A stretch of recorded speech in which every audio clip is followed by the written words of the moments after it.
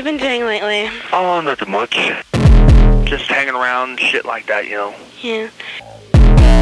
Maybe we can get together or something like that, you know. That sounds cool. Do a little something freaky.